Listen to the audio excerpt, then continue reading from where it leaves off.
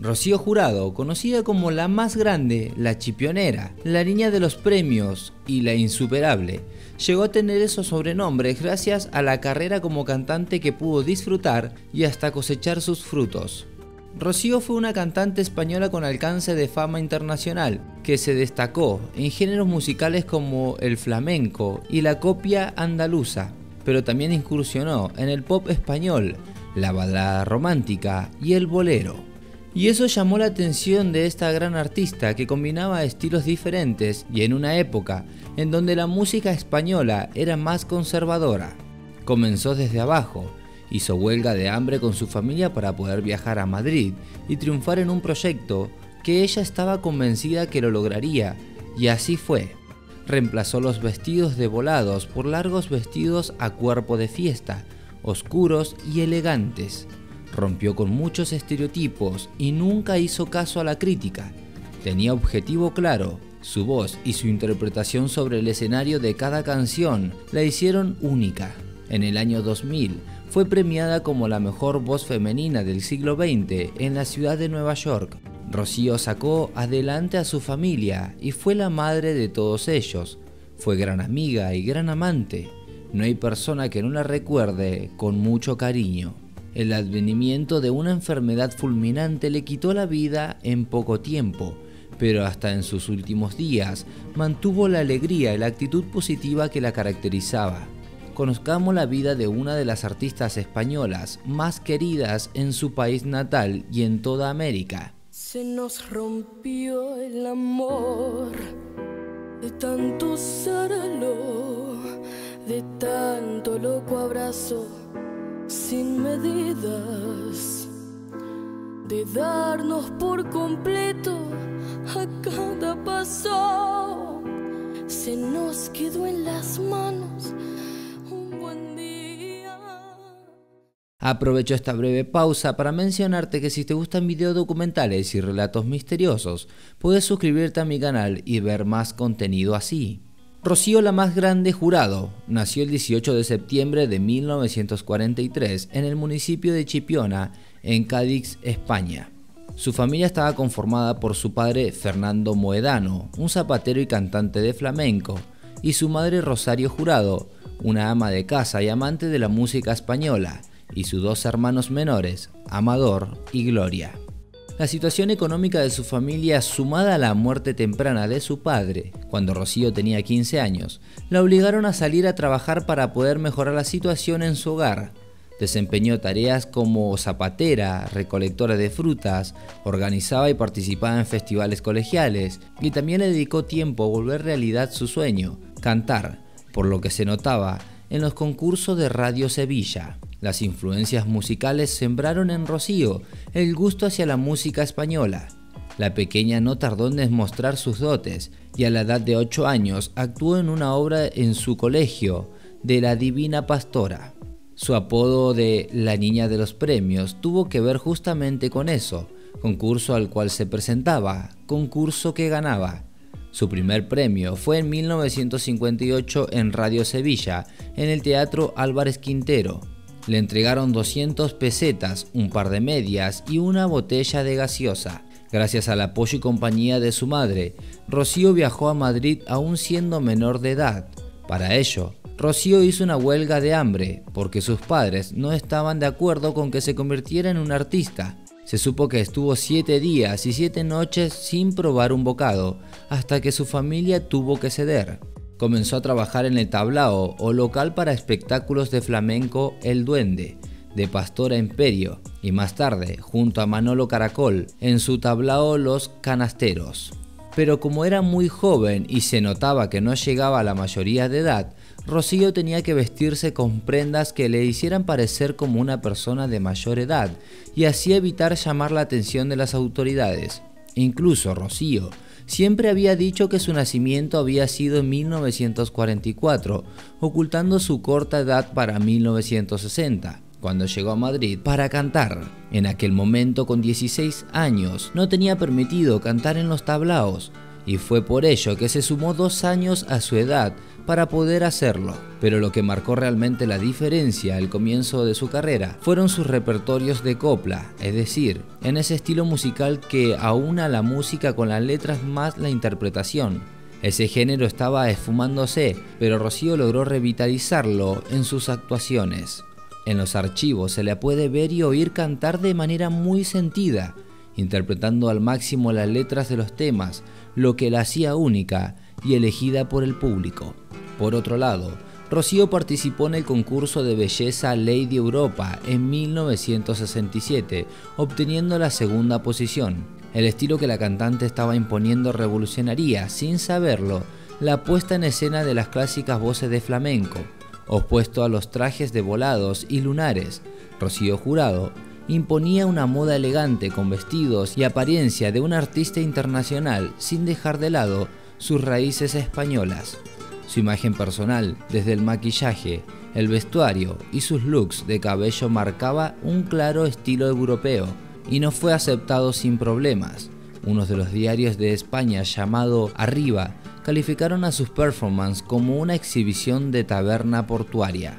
La chipionera, como solían llamarla, había dejado de lado los vestidos de cola por largos y elegantes trajes de fiestas. La década del 70 la esperaba con grandes éxitos musicales como Lo siento mi amor, Señora, Como yo te amo, Como una ola, entre otros. Pero si habría que destacar el estilo de La Gran Rocío Jurado, el punto radicaría en las canciones románticas más que en el estilo folclórico español. Una curiosidad de la que no muchos saben fue que uno de sus temas musicales tuvo que ver con la masturbación femenina. El sencillo Amores a solas hablaba del tema en cuestión y ella lo hacía sin tapujos. Sus baladas recorrieron Hispanoamérica y eso también hizo que sus temas se tiñeran con otros estilos como el mexicano y el caribeño, como se aprecian temas como Te cambio mi bulería y Me ha dicho la luna. Aprovechando el contacto con América, grabó varios duetos, entre ellos con el Puma José Luis Rodríguez, en donde ambos interpretaron Amigo Amor, y con Ana Gabriel, la diva de América, cantaron Amor Callado. Pero en 1982, su don para el flamenco brotaría desde lo más profundo de su ser y grabaría un doble long play titulado Ven y sígueme, con dos grandes representantes del género, en la voz Juan Peña Lebrijano y en la guitarra Manolo Sanlúcar. Rocío la insuperable jurado sabía lo que hacía, sabía moverse por los escenarios, sabía que su costado lírico estaba desarrollado Sabía que podía combinar lo tradicional con lo nuevo, volviéndola una artista polifacética. Su voz comenzó a aparecer en largometrajes como El amor brujo y Sevillanas, con actores y actrices de primera línea como Lola Flores, Paco de Lucía y Manuela Carrasco. Pero no todo se trataba de cantar, hubo siempre un lugar para el amor. Enrique Garea fue la primera persona y el director de la discográfica Columbia en los 60 y 70, que la descubrió y apostó por ella. Enrique dijo, yo grabé su primer disco, una recopilación de las canciones de la película Proceso a una estrella en 1966 y en 1969 sacamos el álbum que llevaría su nombre, Rocío Jurado. Era una chica inocente pero provocadora si era buena como artista, mejor era como persona. Fue la chipionera cuando empezó y lo siguió siendo ya consagrada y hasta su muerte. Siempre fue muy humilde y generosa, nunca fue de egos. Tenía una personalidad como para estar siempre enamorado de ella. Pero para su desdicha, quien la enamoró fue otro, Enrique García Berneta. Cuenta la biografía de Rocío que una tarde de 1968 este Berneta buscó refugio bajo la lluvia y se quedó bajo la marquesina del Teatro Apolo de Valencia. Esa noche había una obra en la que actuaba Rocío y entró. Cuando Jurado salió al escenario, Berneta se quedó perplejo. Al final de la obra, Enrique se acercó al camarino a saludarla y al otro día le envió un perfume de Christian Dior. A partir de aquel momento, el valenciano Berneta fue a verla cada noche y así nació su amor. Durante los casi ocho años que permanecieron juntos, no solo fueron pareja, sino que él se hizo cargo de la carrera artística de la chipionera. Rocío estaba en una de las mejores etapas de su carrera y era feliz con Enrique. Ella le llegó a pedir hasta en tres oportunidades casarse y él nunca quiso. Rocío terminó por romper la relación y al poco tiempo llegaría otro hombre a su vida. El 29 de abril de 1977, Rocío se casó con Pedro Carrasco, un boxeador famoso por su bolo punch. La pareja tuvo una hija que llamaron Rocío Carrasco Moedano. La relación entre ellos duró casi 13 años hasta que en 1989 se divorciaron.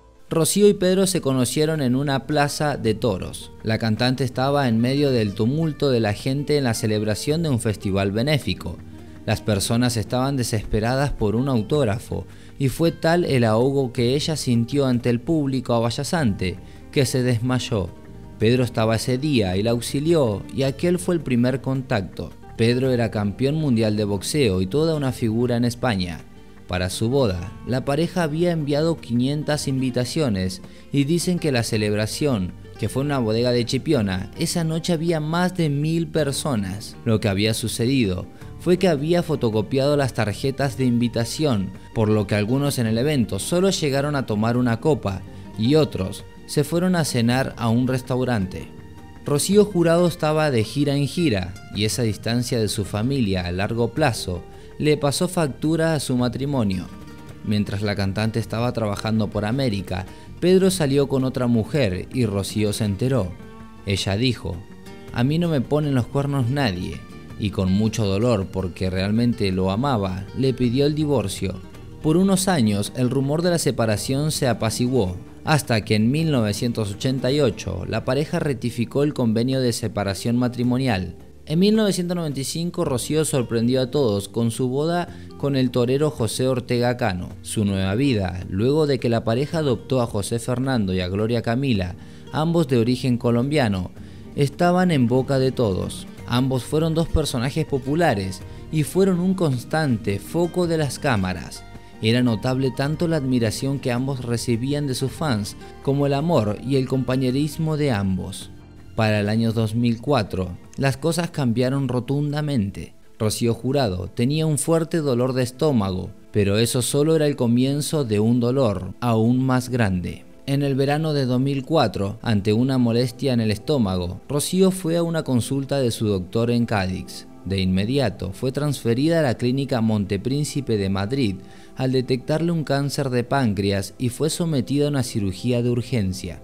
Para el día siguiente, tenía programado un vuelo a Houston para afrontar el tratamiento de esa enfermedad. Dijeron sus amigos que en todo momento ella mantuvo un buen humor, incluso llamaba radioemisora a la radioterapia. Mientras era tratada, Rocío le pedía a las enfermeras que pusieran música, unas rumbas. Jurado nunca perdió ni las ganas ni las fuerzas y mucho menos la esperanza. A las 5 y 15 de la madrugada ha dejado de respirar, ha muerto como ella quería, rodeada de los suyos, de su familia, de sus hijos, de sus hermanos. Amador Mojedán, el hermano de Rocío, comunicó el fallecimiento de una de las más grandes cantantes españolas. Era el primero de junio de 2006 toda la verdad. Señora, ya era tarde para echar atrás. Señora, ya era parte de su vida y él, mi sombra. El 28 de abril del mismo año, Rocío había entrado saludando apenas moviendo su mano en su casa de la Moraleja. Aquella sería la última vez que se la vería con vida. La lucha contra el cáncer de páncreas la había consumido por completo. Había combatido un año y diez meses contra esa enfermedad, dejándola sin fuerza a los 61 años.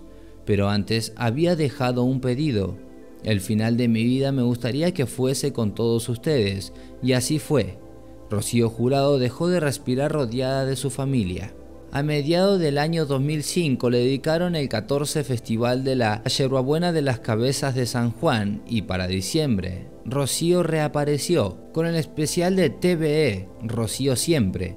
El espectáculo fue grabado en dos sesiones y cantó a dúo con grandes de la música hispana como Paulina Rubio, Rafael, Chayanne, David Bisbal, entre otros. Apenas pasados unos meses, en enero de 2006, la cantante tuvo que ingresar en el hospital MD Anderson para una revisión y una cirugía pactada, pero una reacción alérgica a la medicación que le habían dado aceleró el curso de las cosas y estuvo en cuidado intensivo varias veces. El tiempo restante al día de su muerte estuvo entre los suyos para su funeral y despedida en la capilla ardiente instalada en el Centro Cultural de la Villa de Madrid.